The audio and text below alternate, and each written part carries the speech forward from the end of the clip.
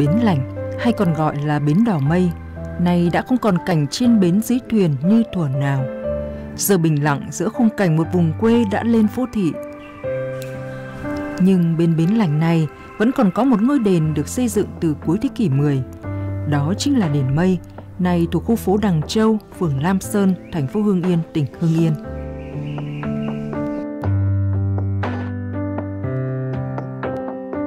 Trước cửa đền, cây đa cổ thụ vẫn tỏa mát rộng cả một góc trời, tạo nên không gian vừa thân thuộc của làng quê, vừa linh thiêng của chốn thờ tự. Cảnh sắc trữ tình thuở xưa còn in dấu đến bây giờ đã đi vào câu ca. Trăm cảnh nghìn cảnh không bằng bến lành đỏ mây. Ngày xưa là các cụ ờ, thuật lại thì là tôi được nghe tôi được nghe thấy thì các cụ bảo là ở chỗ này là đèn mây đấy, trên bến dưới thuyền.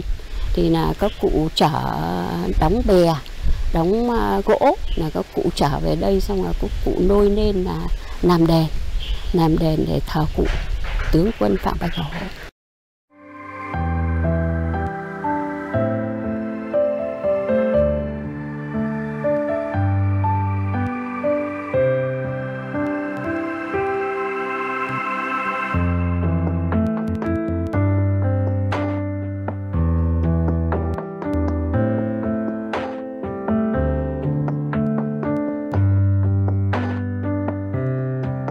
Đền Mây được công nhận là di tích lịch sử và kiến trúc nghệ thuật từ năm 1992 và nay là một di tích tiêu biểu nằm trong khu di tích quốc gia đặc biệt Phố Hiến. Nơi đây thờ danh tướng Phạm Bạch Hồ. Ông sinh ngày 10 tháng Giêng năm 1910, quê ở Đằng Châu. Tương truyền mẹ ông nằm mộng thấy sơn tinh và hồ trắng, rồi có thai nên đặt tên ông là Phạm Bạch Hồ.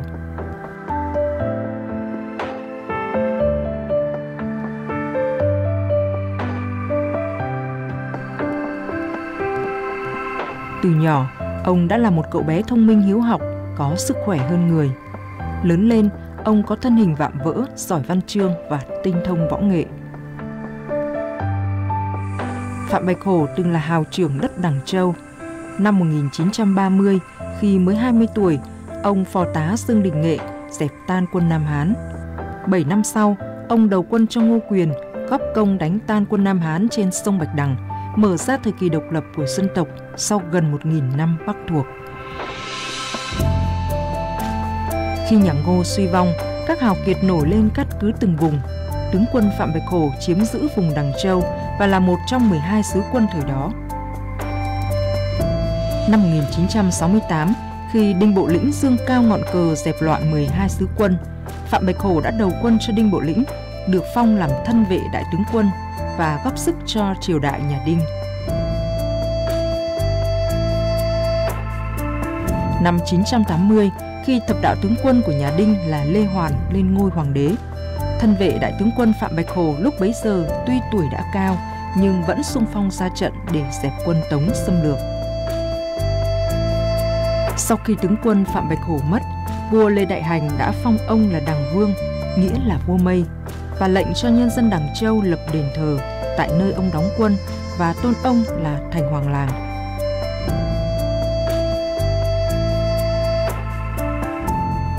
Các triều đại phong kiến đều phong ông là khai thiên hộ quốc tối linh thần. Tướng quân Phạm Bạch Hồ được nhân dân ngưỡng mộ lập đền thờ ở nhiều nơi, nhưng lớn hơn cả là đền mây ở quê hương ông. Nơi đây là nơi tôn thờ tướng quân Phạm Bạch Hổ, Ông là vị tướng tài ba của dân tộc ta thời kỳ chiến tranh độc lập tự chủ. Đền mây được xây dựng à, cạnh bên cạnh bến đành hay còn được gọi là bến đỏ mây. Phía trước là cây đa cổ thụ. Tướng quân Phạm Bạch Hổ là một vị tướng tài ba của dân tộc ta, là người có nhiều công lao à, và phò tá nhiều vị vua trong các triều đại như là ông phò tá Ngô Quyền dẹp tan quân Nam Hán trên sông Bạch Đằng. Khi à, Đinh Bộ Lĩnh xưng vương thì ông đã nhanh chóng nhận ra sức mạnh của chính nghĩa và về đầu quân cho vua Đinh và được vua Đinh phong cho làm thân vệ đại tướng quân. Năm 1980 thì khi đó ông đã 70 tuổi nhưng khi uh, vua Lê Hoàn cất cao ngọn cờ dẹp loạn quân Tống thì ông đã vẫn sung phong ra trận mà mang chiến thắng trở về.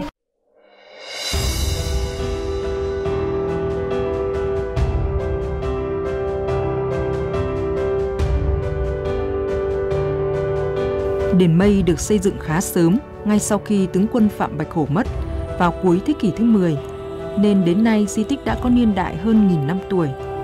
Trải qua nhiều lần trùng tu tôn tạo, đền Mây ngày nay mang dấu ấn phong cách kiến trúc thời Lê, đan xen với thời Nguyễn. Đền được xây dựng kiểu chữ tam, gồm tiền tế, trung từ và hậu cung. Tòa tiền tế gồm ba gian, được làm theo kiểu tường hồi bít đốc, mái lợp ngói mũi hài. Kết cấu các bộ vì kiểu trồng giường giá chiêng con nhị, nâng đỡ mái là hệ thống các hàng cột, chân được kê trên các tảng đá vuông. Ngôi đền được xây dựng theo lối cổ, mang tinh hoa nghệ thuật chạm khắc gỗ của các nghệ nhân xưa. Các mảng cuốn, con trồng, con đấu, các bức cốn, cửa võng, đại tự, hoành phi, câu đối đều được chạm trổ hoa văn theo chủ đề tứ linh, tứ quý, toát lên hồn cốt văn hóa Việt.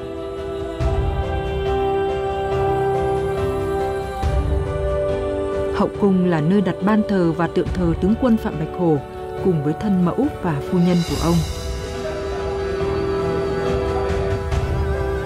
Cho đến nay, đền Mây còn lưu giữ được nhiều hiện vật vô cùng giá trị như các pho tượng cổ, bức đại tự lớn, bức châm lớn, đạo sắc phong, cỗ kiệu bát cống để lại cho hậu thế một di sản văn hóa tâm linh quý báu.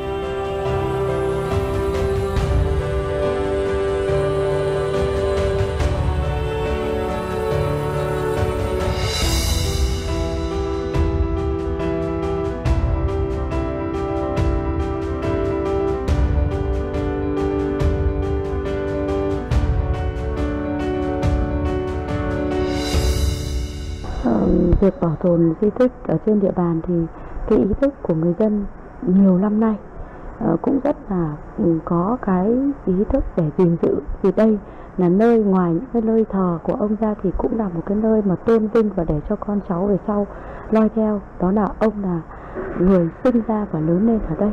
Sau khi ông mất đi thì dân làng đã lập đền thờ ông và từ bấy giờ trở đi là lưu giữ lại cái kiến trúc ở đây, hầu như được giữ lại toàn bộ từ cái cổ mà lúc bắt đầu mới được xây dựng và đến bây giờ thì uh, đến những năm gần đây thì phường Nam Sơn ngoài cái sự nỗ lực của địa phương của bà con nhân dân và khách thập phương thì cũng đã được sự quan tâm rất là lớn của ờ, lãnh đạo cấp trên trực tiếp là thành phố Hương Yên ờ, đã thành lập các cái ban di tích đặc biệt giúp địa phương để kết nối quảng bá cái hình ảnh của địa phương cũng như là để các cái khách thập phương biết đến cái di tích đặc biệt này. Lễ hội ở nàng nhà tôi ý, thì là có năm trước ngày là có 6 giáp. Nhưng mà bây giờ chỉ có 3 giáp thôi thì là 16 mở từ ờ, 14 rằm 16 3 ngày để ờ, lễ cụ. Là ngày dỗ của cụ đấy. Ba giáp chúng tôi là cứ đội lễ đến thắp hương cụ. Cầu ngài là à, mưa thuận gió hòa con cháu khỏe mạnh rồi là à, gia đình đầm ấm vui vẻ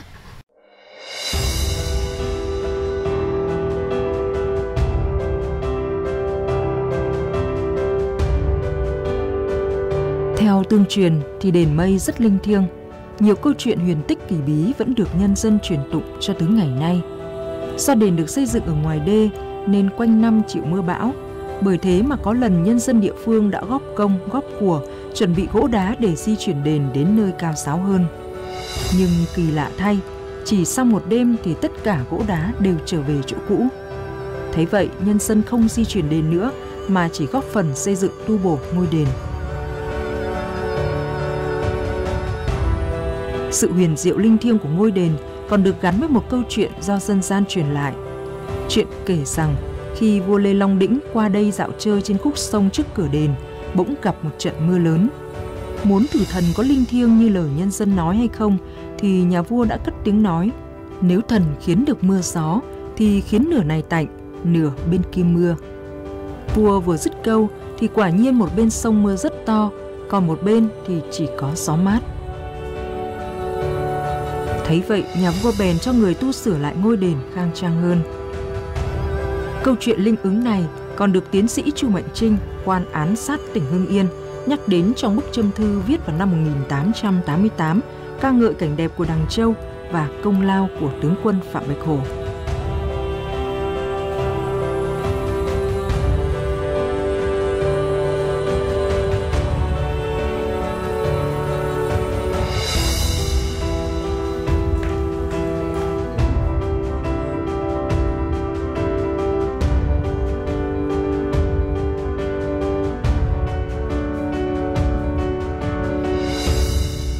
Đây thì ờ, có một ờ, bức đại, bức châm thư lớn của tiến sĩ Chu Mạnh Trinh, được ông biên soạn vào năm 1888 khi ông về đây tham quan ngôi đền mây. Và ông đã ờ, để lại bức châm thư này bức châm thư này thì nội dung nói lên cái sự linh thiêng của ngôi đền và cảnh đẹp của ngôi đền. Bức châm thư này thì có nội dung như sau ngôi trước đinh sau việc đã qua, đằng châu sự nghiệp đã phai nhòa ngoảnh lại dô bẻ nghìn năm đó, còn lại uy nghiêm bảy chục tòa. Các triều phong tặng đều linh ứng nửa dòng sông tạnh nửa dòng mưa.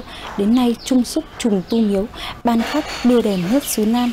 Và bài thơ này thì có nội dung là ca ngợi cái cảnh đẹp cũng như là sự linh thiêng của ngôi đền. Trong 16 cụm di tích đặc biệt thì hiện nay là thành phố đang rất là đầu tư đến kết nối về cái giao thông, cũng như là uh, triển khai các cái nội dung về trọng tâm liên quan đến uh, quảng bá cái hình ảnh của quê hương.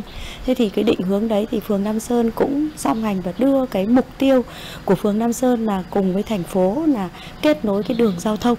Để sau đó thì khi mong muốn là sau này thành một cái chuỗi thành cái chuỗi phát triển du lịch Tân Minh gắn liền với các khu lịch sinh thái xung quanh khu vực của thành phố Hưng Yên nói chung và phường Nam Sơn.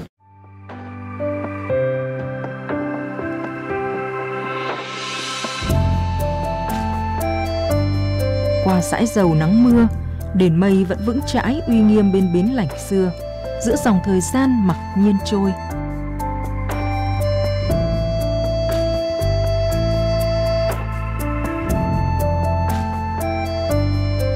Ngôi đền vẫn còn đó cùng những huyền tích linh thiêng gắn với danh tướng tài ba của dân tộc.